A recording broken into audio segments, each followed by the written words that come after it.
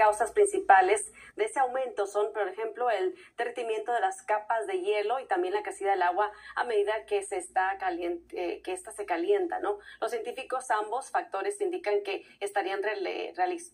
realizando con ese con calentamiento global, perdón, y de hecho el aumento de la temperatura de los océanos también indican ha multiplicado por dos en los últimos 50